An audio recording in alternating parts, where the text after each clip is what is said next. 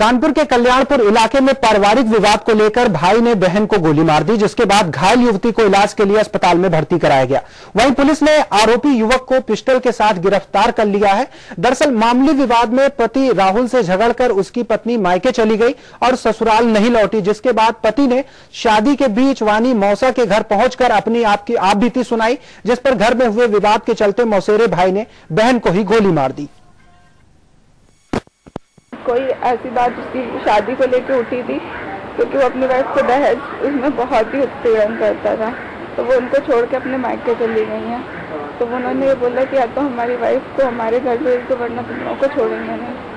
तो इतना कह के वो बाहर निकला। तो पापा लोग कुछ समझ गए होंगे तो वो लोग अंदर भाग गए और हम किचन में खाना बना रहे थे।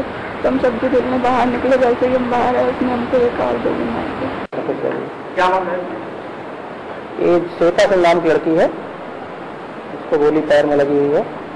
इन्हीं के चाचा श्वेता के चाचा के लड़के चाचा के सारू के जिनका पत्नी को ब्याह को लेकर विवाद चल रहा था उसी के अंदर में उनकी वार्ता घर में चल रही थी। उसी में उनके द्वारा फायर किया गया है। उस लड़की को चोट पैर में लगी हुई ये बैरी का है। बैरी कल्याणपुर थाना क्षेत्र में पड़ता है।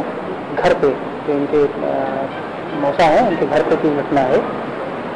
और इसमें तहरीर मिली है, उसमें मुकदमा कायम किया जा रहा है, कार्रवाई कराई जा रही है।